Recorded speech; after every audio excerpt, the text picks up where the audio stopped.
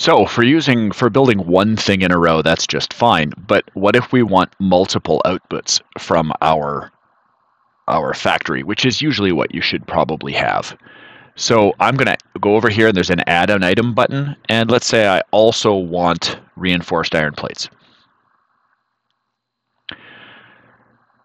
So uh, there's my 450 screws.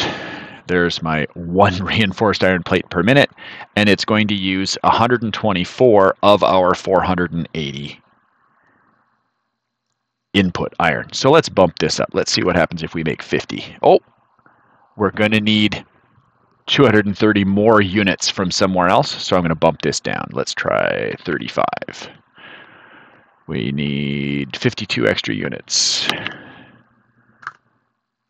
32 means we need 15 extra units. Okay, so we go with 30 extra units. There we go. And we're using 472 out of 480. Okay, so that's fine. So we're using pretty much all of our iron, and we're going to get 30 reinforced iron plates and 450 screws.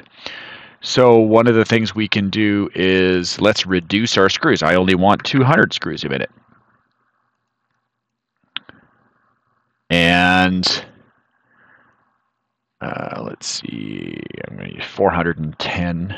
Okay, I'm just going to refresh this page. There we are. So uh, we're using 410 of our iron. So let's use a little bit more. 35 plates, 470 out of 480. Can I get 36 plates? No, I can't. Okay, so 35 plates, and I could probably bump up my screws a little bit. So now you can see the workflow where I would have 16, 15 in a bit, smelters, take all of this, run into a manifold, and get um, into 16 smelters making iron ingots.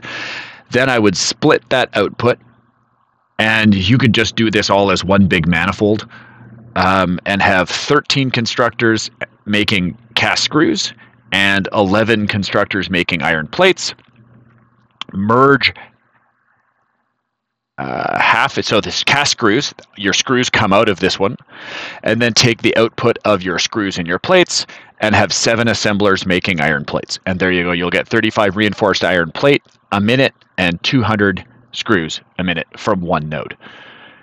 And now it's just a matter of organization to make, you know, 16 smelters. Do you make eight in a row and then put eight above them on another floor and use lifters to pull it along? Do you make one big wide um, factory?